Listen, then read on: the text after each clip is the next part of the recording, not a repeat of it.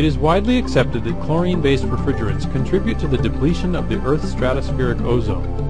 In recent years, the air conditioning and refrigeration industry has supported global efforts to transition to safer non-chlorine-based refrigerants. The challenges confronting the refrigeration and air conditioning industry continue to unfold as we provide industrial cooling, comfort, food preservation, and the quality of life needed for our society.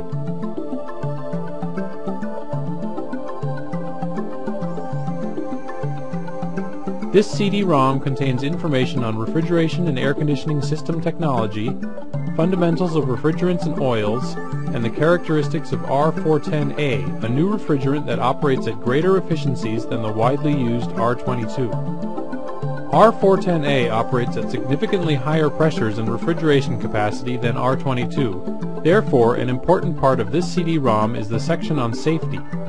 By navigating through all the sections on this CD-ROM and taking the practice tests, you will be prepared for successful completion of the AC&R Safety Coalition R410A certification. This certification will show evidence of your professional ability to safely handle and work with this new generation of refrigerants.